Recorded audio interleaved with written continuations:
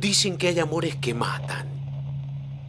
Y si bien es solo una metáfora, nada resulta más real para reflejar aquella historia cargada de drama y terror, ocurrida en 1991 en la zona positana del quinto cuartel. Una enmarañosa novela de una mujer casada y su amante, que idearon un plan para sacar del medio aquel hombre que se interponía entre ellos.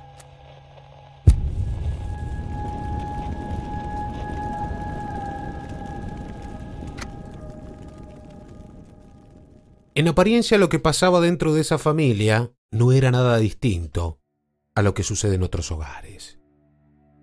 Una mujer de 36 años, en este caso María Funes, desencantada de su matrimonio. Y un marido que se dedicaba a la compra y venta de aceitunas llamado Oscar Elizondo, quien se inmutaba por ese desamor y vivía como si no pasara nada. El problema fue que en esa complicada relación apareció un tercero en discordia. Un camionero llamado Vicente Olmos, de 41 años,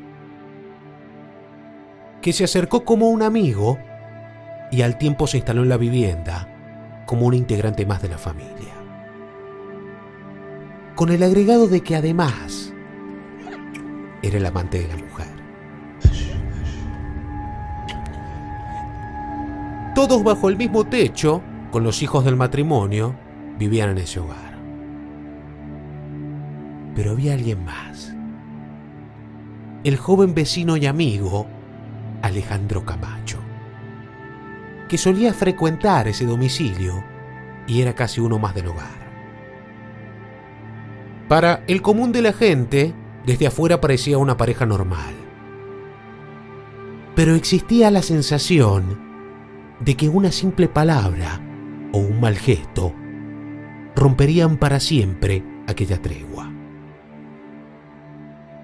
María comentaba a sus conocidos que su esposo la golpeaba y la maltrataba, y que ya había empezado a tramitar el divorcio.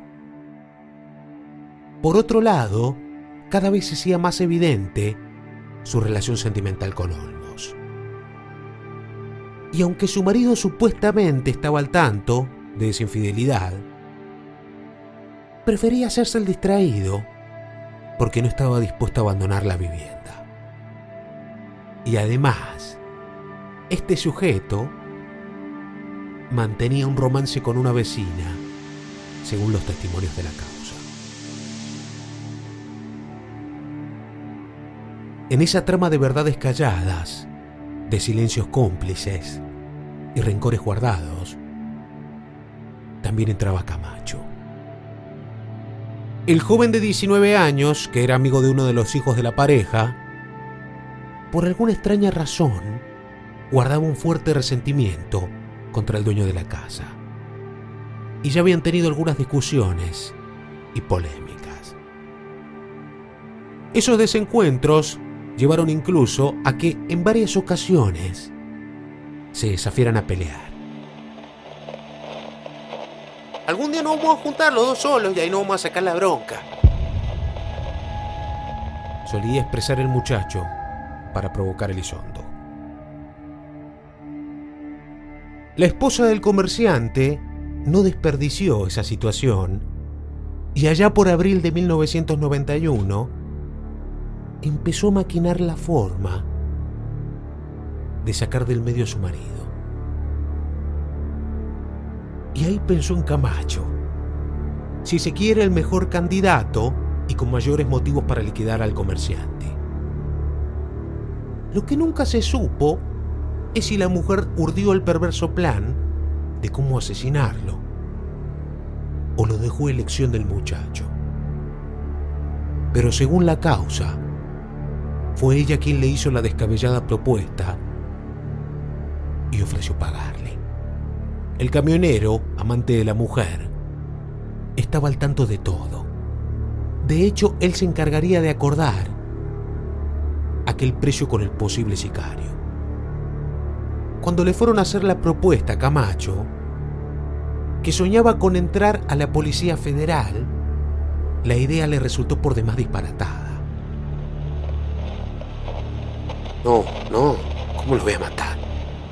¿Cómo lo voy a matar?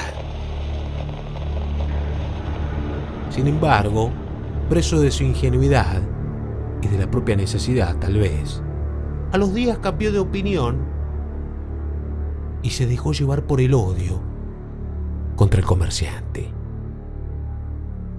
Así fue que aceptó hacer el trabajo sucio. Y a cambio no pidió mucho.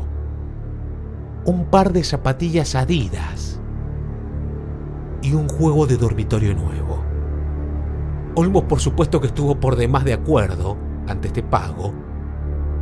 Y la única recomendación que hizo es que si lo descubrían, que muriera cagado.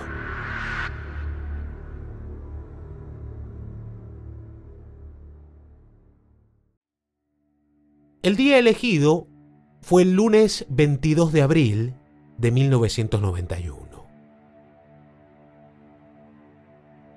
En esa jornada, Camacho apareció en horas de la tarde por la casa de los Elizondo Funes y como de costumbre, se quedó charlando con la familia hasta que se hizo de noche. Pasadas las 21 horas, llegó el dueño de la casa, saludó a todos y se fue a su habitación. Y en un momento dado, lo llamaron a cenar. En ese informal encuentro, el joven vecino aprovechó para hablar a solas con el comerciante y le dijo que tenía unas aceitunas para venderle a buen precio. Elizondo, que no sospechaba nada, mostró su interés por la oferta y sin querer cayó en la trampa. El muchacho siguió con ese macabro plan que tenía, asegurándole que era un buen negocio, y lo invitó a reunirse más tarde en calles 8 y Costa Canal, en Posito. Acordada la cita, Camacho se fue de la vivienda en su bicicleta y fue a prepararle emboscada. El otro salió minutos más tarde en su camioneta Chevrolet, sin ni siquiera imaginar lo que le esperaba.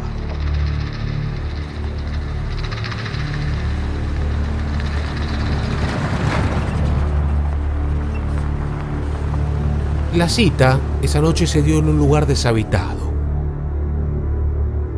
Camacho ya lo estaba esperando al comerciante. Cuando este pasó por el lugar donde habían dicho, el joven cargó la bicicleta en la caja del vehículo e indicó que debían ir a una finca, de modo que continuaron camino hasta el lugar, mucho más oscuro y desolado. Se lo conoce como el callejón Morla. Una vez allí, le pidió que parara el vehículo en medio de la nada. Elizondo lo miró como extrañado al joven changarín. Entonces ahí este se sinceró y fue al grano. No vi aceitunas ni negocio por concretar. Lo había llevado hasta ese sitio para que saldaran a solas las cuentas pendientes entre ellos. Ambos se bajaron de la camioneta y a los guapos se plantaron frente a frente. Apretaron los puños y dieron comienzo a esa pelea que tanto se prometían. La primera y la última, con la luna como única testigo. De acuerdo a lo que se reconstruyó en la causa judicial, el joven tiró un golpe y vino la respuesta.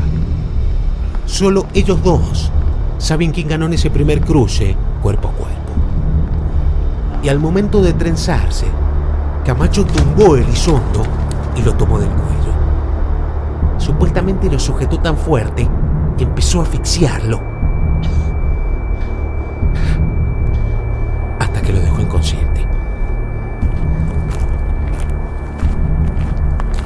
Como pudo, lo subió el comerciante a la cabina de la Chevrolet. Y rápido de reflejos, con un bidón y una manguera que había detrás del asiento, sacó nafta del vehículo y comenzó a rociar el cuerpo del comerciante.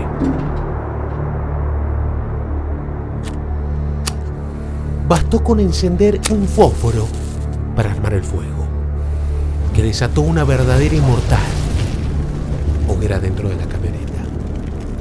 En esos segundos en que las llamas envolvían el cuerpo, el muchacho agarró su bicicleta y escapó convencido por el callejón, sabiendo que ya no había vuelta atrás.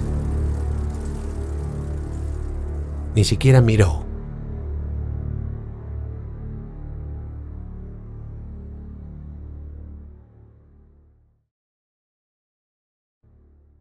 A la mañana siguiente se presentó en la casa de su víctima.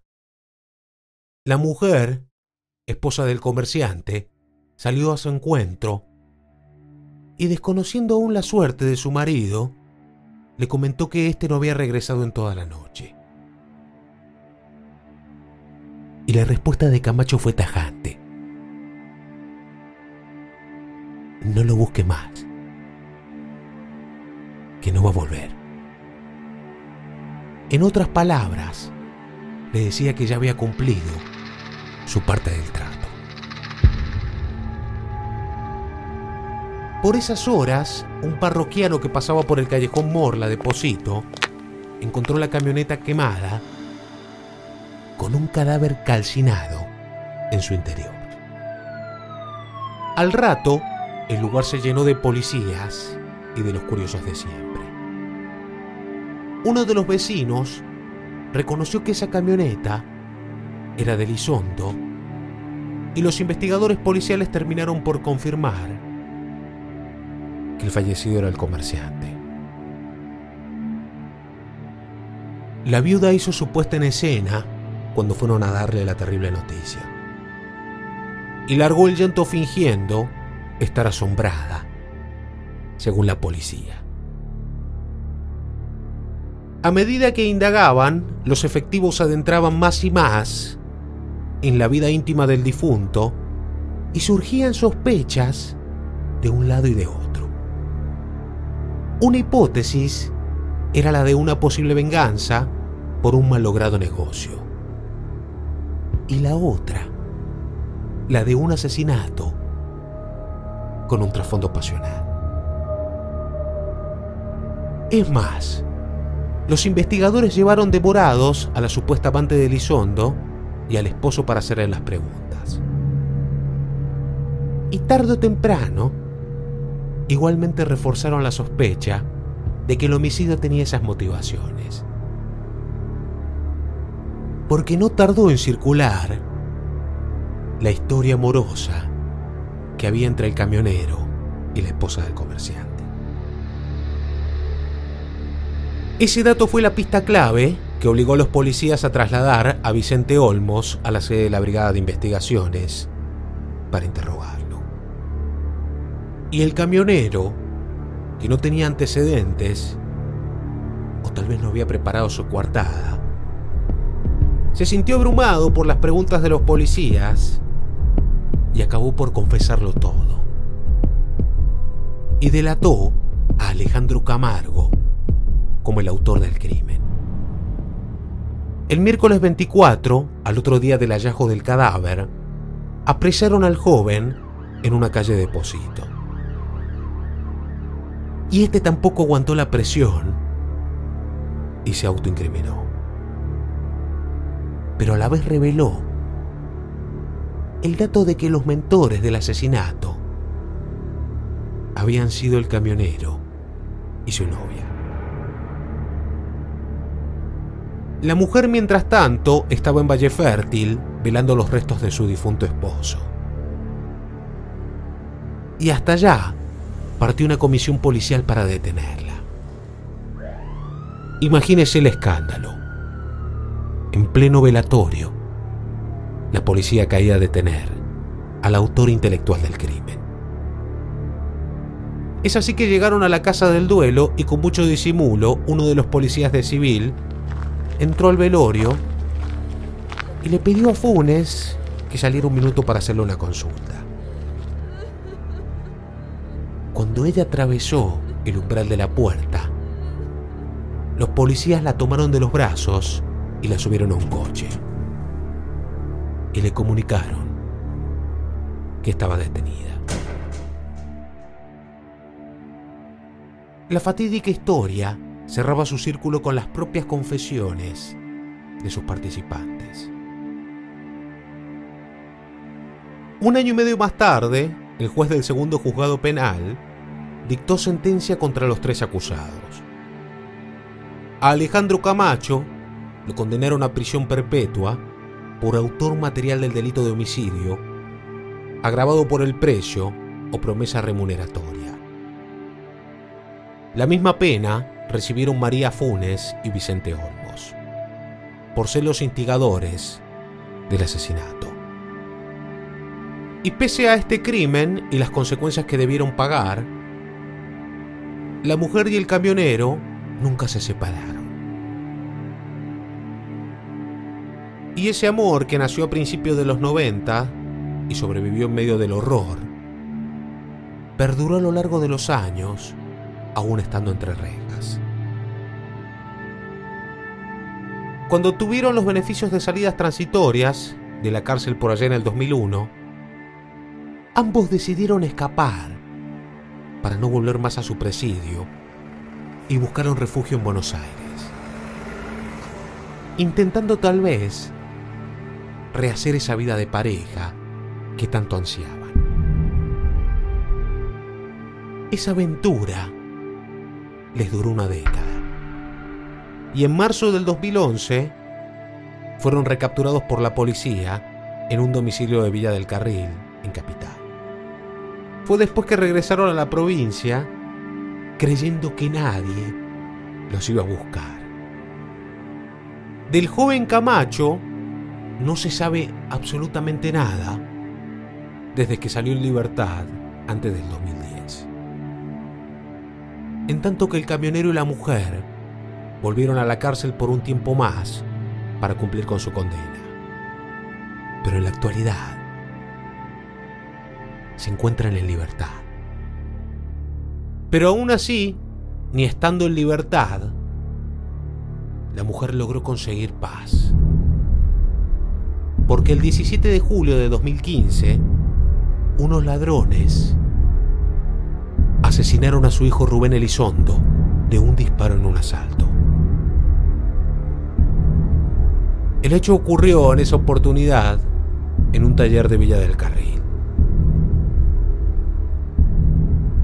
Y ese muchacho era un penitenciario que había sufrido todo el drama del asesinato de su padre